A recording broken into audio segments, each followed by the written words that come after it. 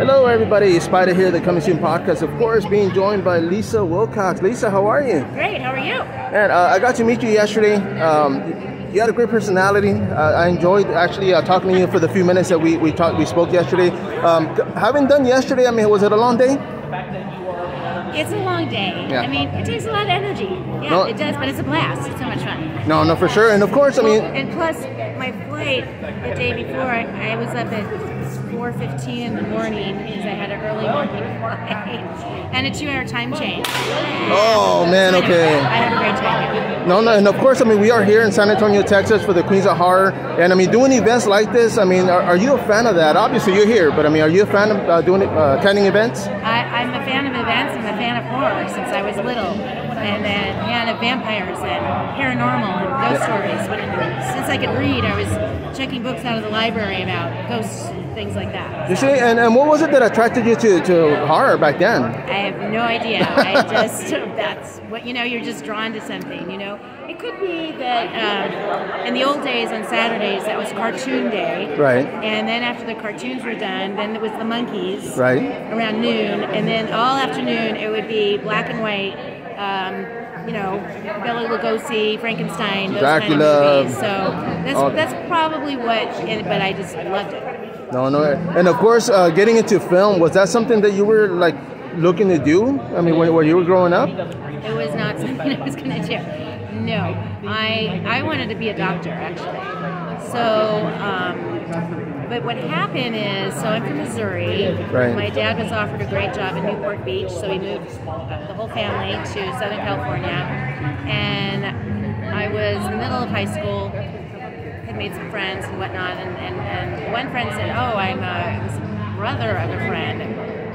who wasn't in the high school, whatever. He said, Lisa, I'm going down for an audition at Buddy Ebsen's uh, theater in Newport Beach. So uh, I don't know if you guys remember Barnaby Jones. Oh, yeah. And, you know. I do. So, well, Buddy had a theater there. Right. So, so my friend's going there for an audition, and I'm just sitting there in the audience seats watching, you know, whatever. Right. And this lady kept tapping my shoulders and saying, "You're auditioning, right?" And I'm like, "No, no, no, no, no, no." Anyway, she was very persistent, so I finally went up and I auditioned, and I got the lead role in Lanford Wilson's play, The Hot L Baltimore, and I won awards and things like that for doing this this play. So the, the, the bug was has bitten me, and I from then on uh, outside of high school, doing high school, but outside of high school did play after play after play at Equity Waiver Theaters, and then and then went to UCLA. You see, and with something like that, were you involved in theater in high school?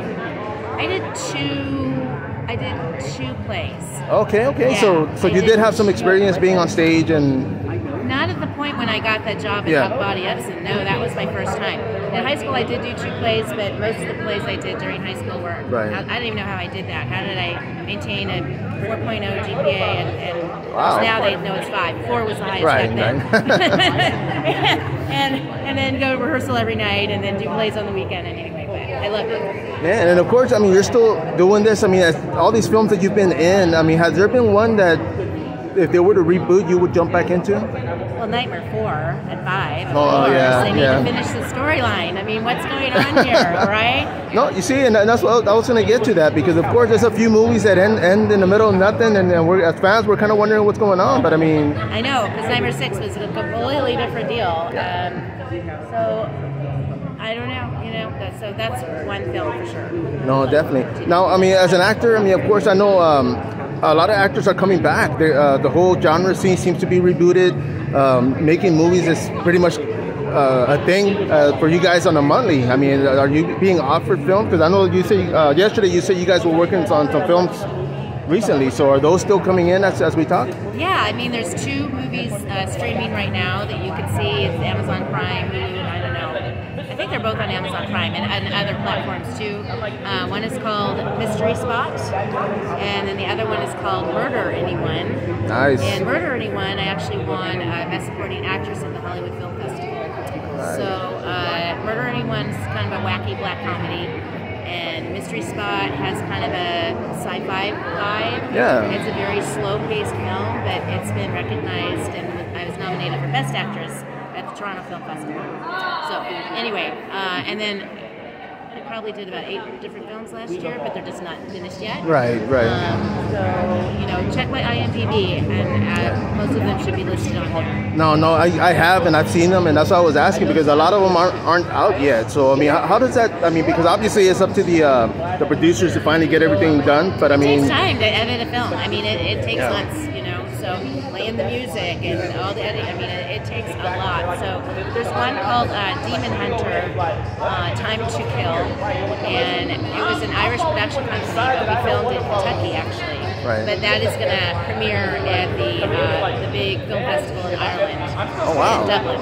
So I'm very excited about that. That'll be in uh, October. are, are you going to be out there in attendance? Yes. Oh, yeah, nice. Okay. out. So Sweet. very excited about that. One I can't talk about Right. right now, but it's going to be at the Cannes Film Festival. Okay. Okay. And just there's all kinds of stuff coming out, and more filming I'm doing next month and the month after that. No, no, you see, that's great. And I mean, the fact that you get to travel, I mean, you guys are like rock stars. I mean, you guys go out there, and of course, you got fan base. You got you get to travel and visit uh, other countries, obviously. Yeah. I mean, is there a country out there uh, that you would love to go visit back again? Well, I wish there was a convention in Italy. I want to go back Oh. to Italy. I love Italy. I've been there since college. It's my favorite country. Nice. Um, and yeah, so and and, and it would be too great if there were conventions in Asia, you know, like Japan or you know. Um, That's actually, yeah, yeah, and that they would be like pretty cool. horror out yeah. there, oh you yeah. know. So I'm surprised there's no conventions. So anyone out there, Yeah, get, get it going, man. and you see, and earlier I was talking to Mark, and he was saying uh, he lived in Mexico, and I forgot to ask him if he was fluent in Spanish. I'm sure he's been there for years. But um, uh, you see, I grew up here in San Antonio, and uh, growing up, we used to watch. Uh, uh, lucha libre wrestlers, uh, El Santo versus La Momia versus you know. So of course, all those black and white, oh, black and white films I grew up on, and I loved it because a, a lot of it was uh, the storyline, the acting, everything. Is that kind of what happens with you guys when you get a role? I mean, do you guys get together and see if you guys can uh, have some chemistry with, in, the, in the film? usually you're cast separately, you know, and and then uh, you know the director can just hope and pray that they Yeah, make it work. get along and make it work, you know. Um, but sometimes in auditions, like even thinking of Nightmare 4, I read Tuesday Knight, who Yeah. reprised the role of Kristen. She was the first role that was uh, cast. Oh wow, okay. I was the last role cast because they couldn't find their Alice. oh. And I was in here. I'll show you. It's got to be here. Yes. Okay. So this is me in 1988. Okay. You'd probably cast me as a cheerleader, right. beauty right. queen, or something Right. like that, right? So I was I was looked over. They did not see Alice in this, but they couldn't find their Alice. So they went to the reject pile. They were like, and, "What about this uh, one?" And I auditioned. Of course, you know, I, I had I wore makeup, and dirty hair. I wore pale yellow, Yeah. horse color, and and acted. And I got Wow. You see, and, and it just makes me wonder how many roles out there. Because of course, I mean, uh, for me, I love watching um, uh, backstories to where like they had a, a lead role and then they they can't do it, they decide not to, so they got to look for somebody else, and they, they, they scramble, and it turns out that, that was the best pick. You know, than what they had in mind. So, is, is that kind of what happened with you on uh, the Freddy, uh, Nightmare on Elm Street movie? I mean, they put you on there, and I don't understand your question. I'm Oh, sorry. oh no, I'm sorry. Uh, as far as like, because obviously they didn't have their Allen, so when they put you on there, did it kind of just work out?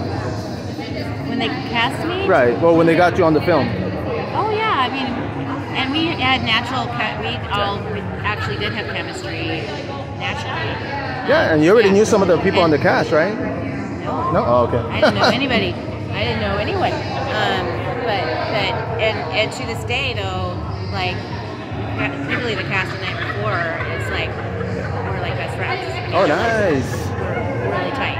And Amanda Wyss, I've gotten to learn. You know, one of my best friends. Heather's one of my great friends. And, you know, we're, we're really like one big family. And I think I that's like what's that. great about the conventions too is that usually when you do a project, you never see those people again. Right. You might see them again if you uh, work on another project together. Right, But right. You don't normally see anyone out, once you're done filming. You never you don't make con- contact. But but with Nightmare on Elm Street four in particular, we're we we're. No, you see, especially, I mean, I would imagine they try to get all of y'all at one time for a convention too, so that kind of helps to be able to reunite you guys.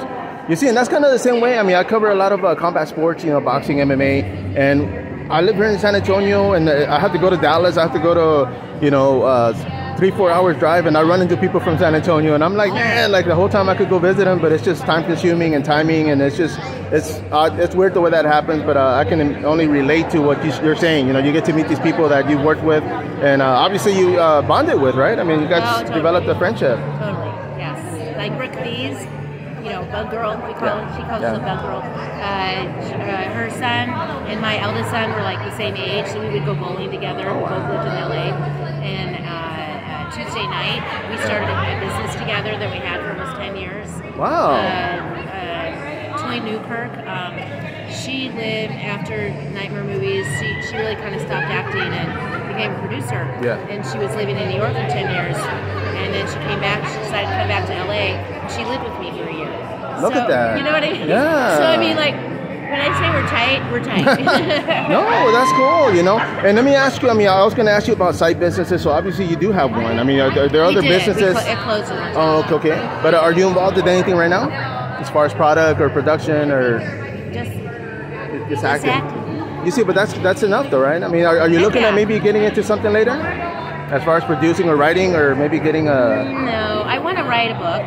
Okay. Uh, my life story kind of thing. Nice. But I'll wait till I slow down because right now life is. Oh yeah, is have to be like two or three books, you know, out there.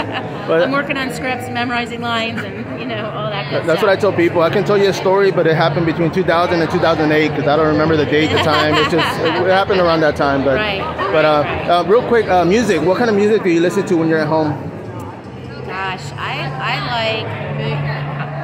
It's pretty varied. Yeah. Uh, I love music from the '60s, '70s, '80s, '90s. Nice. Uh, I like country music too.